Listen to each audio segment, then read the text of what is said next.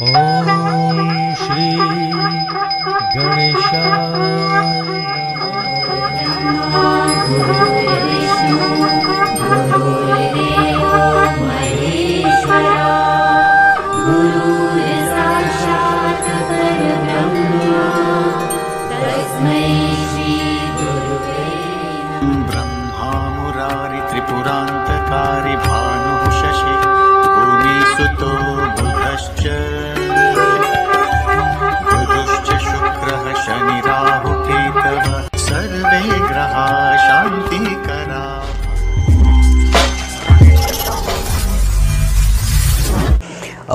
श्री गणेशाय नम। नमस्कार दर्शक मित्रहरू। स्वदेश विदेश र संसारको कुनामा छरिएर बस्नुहुने सम्पूर्ण बुबामा दाजुभाइ दिदीबहिनीहरूप्रति मेरो हार्दिक नमन र हार्दिक स्वागत छ। आज म तपाईँका हरेक समस्याहरूलाई अन्त गर्न हेतु जीवनमा फसिएको धन निकाल्नको लागि। तपाईँले कसैलाई ऋण दिनुभएको थियो कसैलाई सापट्टि पैसा दिनुभएको थियो विदेशमा बसेर खाइ नखाई कमाएको पैसा कसैले दुःख पर्यो भनेर दुःख सहन नसकेर त्यो पैसा तपाईँले उहाँहरूलाई दिनुभएको थियो त्यो पैसा तपाईँलाई दिएन। आज भन्छ भोलि भन्छ पर्सि भन्छ निकपर्सि भन्छ एक वर्षपछि भन्छ दुई वर्षपछि भन्छ पाँच वर्षपछि भन्छ ब्यासित दिन्छु भन्छ।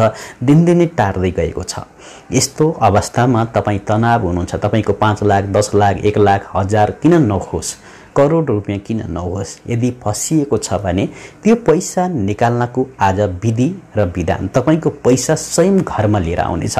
उस व्यक्तिले यदि विधिपूर्वक र आस्था धर्म साध र समर्पण भावबाट यदि गर्नुहुन्छ भने तपाईँको पैसा केही दिनमै प्राप्ति हुनेछ। रोकिएको पैसा उसको दिने योग्यता छ भने खोजेर भए पनि उसले तपाईँको पैसा तिर्नेछ। आजको भिडियो अत्यन्तै महत्त्वपूर्ण छ। यहाँहरू सम्पूर्ण दर्शक महानुहरूले यो भिडियोलाई सक्दो सेयर गरिदिनु होला। Facebook Twitter Instagram Messenger WhatsApp भाइबरदेखि लिएर विभिन्न सोसियल मिडियामा यहाँहरूले सेयर गरिदिनु होला। किनकि विदेशमा बसेर खाइ नखाई कमाएको पैसा होस् या आफूले एक छाक खाएर बसेर कमाएको पैसा किन नहोस् दुःख गरेर कमाएको पैसा अरूको दुःख देख्न नसकेर कुनै बिजनेसको लागि घर किन्नको लागि घडेरी किन्नको लागि या तपाईँले सरसापट्टिका लागि कुनै रोग बिमार भएर पैसा दिनुभएको थियो भने त्यो पैसा फसियो कई वर्ष बित्यो पैसा प्राप्ति गर्नुभएको छैन भने आजको टिप्स तपाईँको लागि महाशक्तिशाली छ।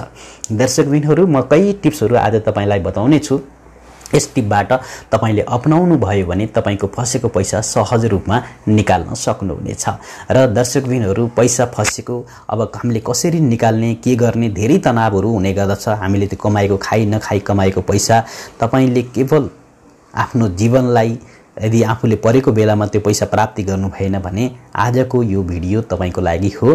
कुन देशबाट कुन ठाउँबाट कहाँबाट हेर्दै हुनुहुन्छ दैनिक रूपमा हेर्नुहुन्छ पहिलो पटक हेर्दै हुनुहुन्छ कमेन्ट बक्समा कमेन्ट गरिदिन अनुरोध गर्दछु र भिडियोलाई सेयर लाइक कमेन्ट गर्नुहोला। अनि अर्को कुरा नबुझेको कुराहरू र अन्य टिप्सको बारेमा यदि तपाईँ चाहनुहुन्छ भने त्यो टिप्सहरूलाई पनि अवश्य लेख्नुहोला। म त्यसको बारेमा पनि भिडियो बनाएर तपाईँको बिचमा राख्नेछु। कहिलेकाहीँ हामी थुप्रै मुसिबतमा पैसा उधार दिन्छौँ ऋण दिने गर्दछौँ र अब हामीले लिने वक्तमा उनीहरूले फिर्ता गर्ने कुरा गर्दैनन् र हाम्रो जीवनमा थुप्रै उनीहरू भुल्छन्। लिने मान्छेले त भुल्दैन दिने मान्छेले भुल्न सक्छ। र त्यस कारणले गर्दाखेरि मानसिक पीडा समस्या झगडा खुनखराबा लडाइँ विवादहरू जेल कैद कजारी मुद्दा मामिलासम्म पुग्ने गर्दछन्। र यदि तपाईँले कागजिक रूपमा गर्नुभएको छैन भने त झन्नै समस्या हुन्छ। यदि कागजिक रूपमा गर्नुभएको छ कानुनी रूपमा गर्नुभएको छ भने त तपाईँको पैसा डुब्न नसक्ने सम्भावना कम हुन्छ। यदि तपाईँले कुनै पनि विश्वासको कारणले आफ्ना मित्रजनहरूलाई साथीभाइहरूलाई इष्टमित्रलाई पैसा दिनुभएको छ भने कागज पनि छैन कानुनी रूपमा पनि छैन दिने माग्ने प्रुफ पनि छैन ल। त्यो उसको इच्छा हो दिए दियोस् नदियोस् भन्ने कुराहरू हुने गर्दछ। यस कारणले गर्दाखेरि आउनुहोस् आज हामी विशेष रूपमा यो पैसा फसेको पैसा कसरी निकाल्ने? यदि तपाईँको धन सम्पत्ति फसियो एक नम्बरबाट लेख्नुहोला। औँसीको दिन या पूर्णिमाको दिन तपाईँले लेख्दै जानु होला मैले तपाईँलाई कई टिप्सहरू आज भन्ने छु।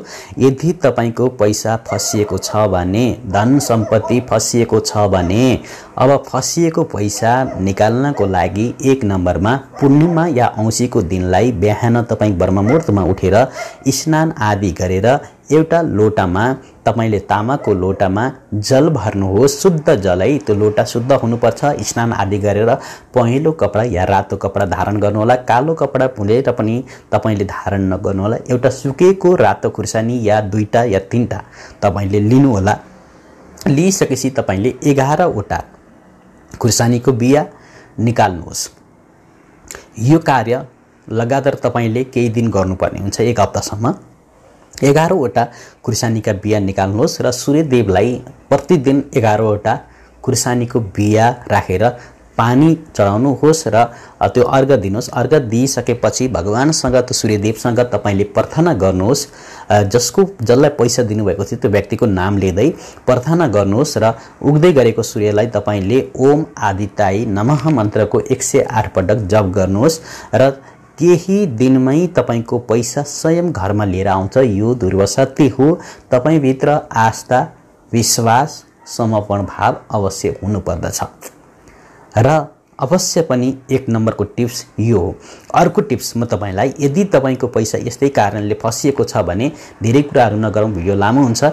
अमावस्या औँसीको दिन र पूर्णिमाको दिनमा देशी कपुर जहाँ पनि पाउँछ दोकानहरूमा जहाँसुकै पाइन्छ हामीले। र तपाईँले एउटा तामाको पात्र लिनुहोला।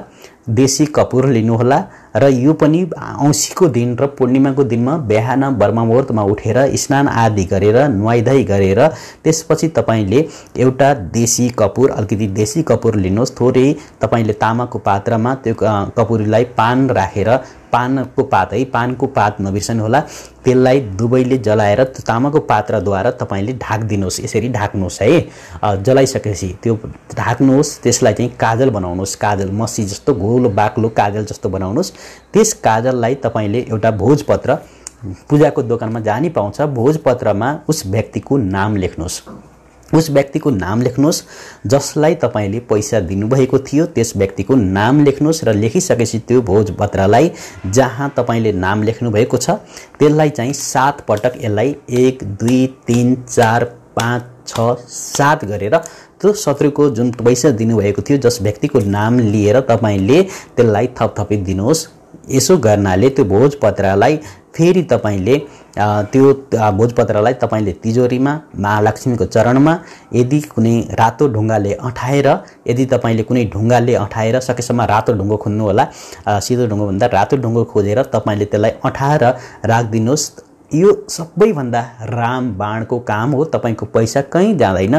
फसेको पैसा अवश्य प्राप्ति हुन्छ नै र केही दिनमै तपाईँको त्यो पैसा फिर्ता हुन्छ र पैसा आउने यो फसिएको पैसा निकाल्ने अद्भुत सजिलो तरिका हो। दर्शकबिनहरू यसै गरी अर्को टिप्स म तपाईँलाई जानकारी दिन्छु। यहाँहरूले यी टिप्सहरूलाई अपनाउनु भयो भने अवश्य पनि अर्को टिप्समा छ। यदि तपाईँको पैसा फसेको खण्डमा हामीले त्यो पैसा निकाल्नको लागि अर्को टिप्स के छ भन्दाखेरि यदि फसियो अब तपाईँले पैसा दिनुभएको थियो। अब हुन त हाम्रो कुण्डलीमा पनि भर पर्ने गर्दछ। मेन कुरा कुण्डलीमा के कस्ता छन् ग्रहहरू। अब ज्योतिष शास्त्र अनुसार हाम्रो कुण्डलीमा देवगुरु बृहस्पति शुक्र मजबुत हुनुपर्छ। अर्को कुरा तपाईँको फसिएको धनहरू कहिले मिल्छ कि मिल्दैन भन्ने ग्रहले पनि हाम्रो निर्धारित गरेको हुन्छ। यस कारणले अगर मङ्गल तपाईँको राहु शनि अशुभ भएमा धन नोक्सान हुन्छ फसेको धन उठ्न अलिकति गाह्रो हुन्छ। यो कुराहरूलाई विचार गर्नुहोला।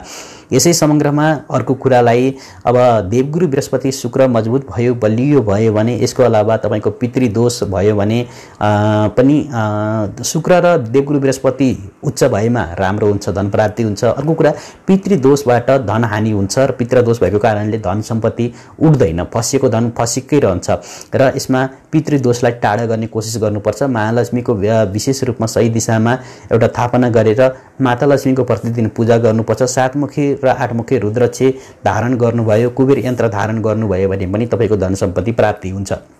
यसै समग्रमा मन्त्रद्वारा उच्चारण गरेर पनि यदि तपाईँको धन सम्पत्ति फसेको छ मन्त्रद्वारा तपाईँले त्यो धन सम्पत्ति प्राप्त गर्न सक्नुहुन्छ। ओम श्री कृष्णाय नम। यो बीज मन्त्र जप गर्नाले तपाईँको लागि धनको वापसी अनि जस व्यक्तिलाई धन दिनुभएको थियो त्यो धन सम्पत्तिको लागि पनि तपाईँले त्यो व्यक्तिको नाम लिएर भगवान्को विशेष रूपमा ध्यान गर्नुभयो भने पनि पैसा प्राप्ति हुन्छ। अब यसै समग्रमा हामीले वास्तुको कारणले पनि कहीपटक हाम्रो धन सम्पत्ति फसिएको हुन्छ। घरमा विभिन्न वास्तु दोष नेगेटिभ एनर्जीको कारणले।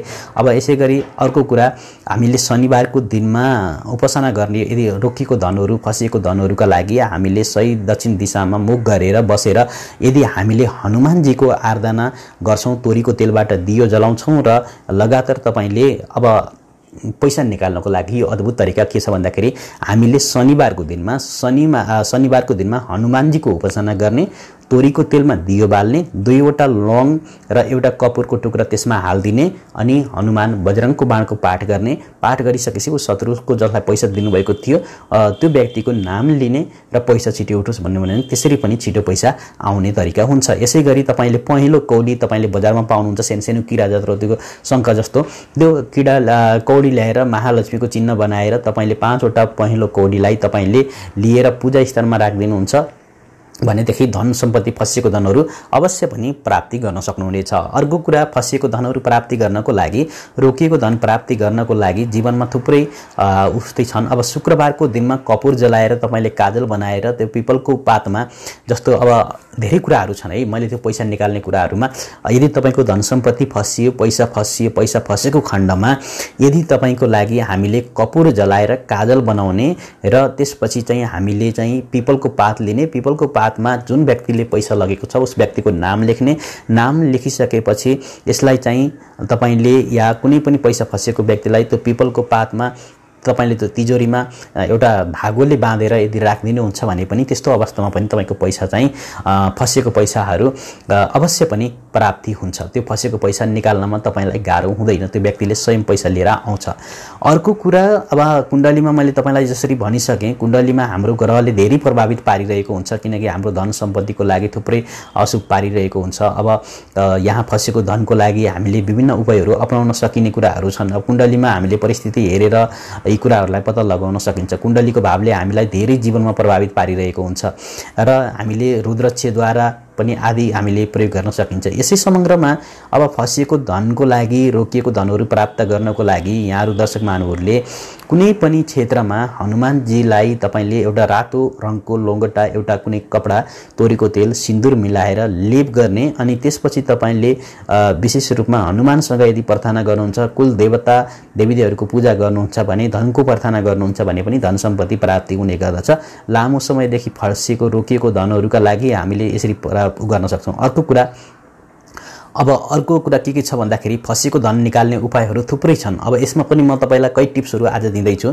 यदि तपाईँको धन सम्पत्ति फसियो धन प्राप्त भएन धन मिलेन भने लगातार तपाईँको धन डुब्दै गएको धनहरू वसुल गर्न सक्नु भएन भने आजको यो टिप्सलाई तपाईँले शुक्रबारको दिनमा तपाईँले के गर्नुहोस् भने कपुर जलाएर तपाईँले त्यसको काजल बनाएर त्यसमा चाहिँ तपाईँले फेरि अर्को कुरा केमा गर्न सक्नुहुन्छ? पानको पातमा जुन व्यक्तिलाई पैसा दिनुभएको थियो त्यो व्यक्तिको लागि पूर्ण रूपमा नाम लेखेर फेरि भोजपत्रमा पनि नाम लेखेर त्यो पानको पातलाई समेत भोजपत्रले बेर्ने भोजपत्रले बेरिसकेपछि यसलाई ढुङ्गाले अँठाइदिने पैसा राख्ने ठाउँमा राखेर अवश्य पनि तपाईँको छिटोभन्दा छिटो पैसा प्राप्ति हुन्छ। यसै गरी डुबेको धनलाई नै हामीले सहज रूपमा सरल रूपमा प्राप्ति गर्नको लागि यो तपाईँले एउटा सानो विधिलाई शनिबारको दिनमा दक्षिणतिर मुख गरेर हनुमानको चित्र राखेर कपुर हालेर तिन पटक हनुमान बजरङको बाण पाठ गर्ने र सातवटा खुर्सानी शत्रुको नाम लेखेर तपाईँले कुनै यस्तो स्थानमा लएर सुनसान ठाउँमा लएर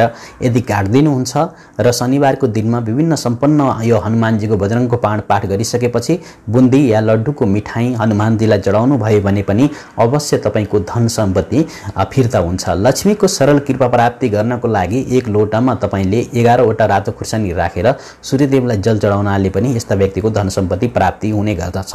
आर्थिक सङ्कटबाट हामीले त्यो धन सम्पत्ति प्राप्त गर्नको लागि फसिएको धन सम्पत्ति प्राप्त गर्नको लागि त्यो कौडीहरूलाई हामीले दोकानबाट ल्याएर हामीले राम्रोसँग धोएर गौमती चक्रमा सिन्दुर कुमकुम आदिले पूजापाठ गरेर महालक्ष्मीको अगाडि एघारवटा गौमती चक्र राखेर दिन प्रतिदिन हामीले त्यहाँ तिलक गरेर पूजा गरेर जुन पैसा तपाईँको फसेको थियो निवेदन गर्छौँ महालक्ष्मीसँग भने अवश्य पनि तपाईँको फसेको धनहरू अवश्य प्राप्ति गर्न सक्नुहुन्छ। फसेको धनलाई हामीले मन्त्र प्रयोग गरेर प्रतिदिन ओम तपाईँले ओम क्रम कृष्णाई नमः बिहान बिहानमा जप गर्ने रोकिएको धनको लागि भगवान्सँग प्रार्थना गर्नुभयो भने पनि तपाईँको लागि अवश्य त्यो फसेको धनहरू छिटैभन्दा छिटै तपाईँले प्राप्ति गर्नुहुनेछ। दर्शकबिनहरू यसै समग्रमा थुप्रै यो फसेको धनहरू निकाल्ने विधि विधानहरू थुप्रै छन् र म तपाईँलाई अन्य टिप्सहरू पनि फेरि अर्को भिडियोमा लिएर उपस्थित हुनेछु र यो विधिलाई तपाईँले अप्नाउन सक्नुहुन्छ सहज रूपमा राम्रो तरिकाले। राधे राधे ओम नम शिवाय। हामी फेरि अर्को भिडियोमा उपस्थित हुनेछौँ। आजको लागि म बिदा चाहन्छु। जय माताजी।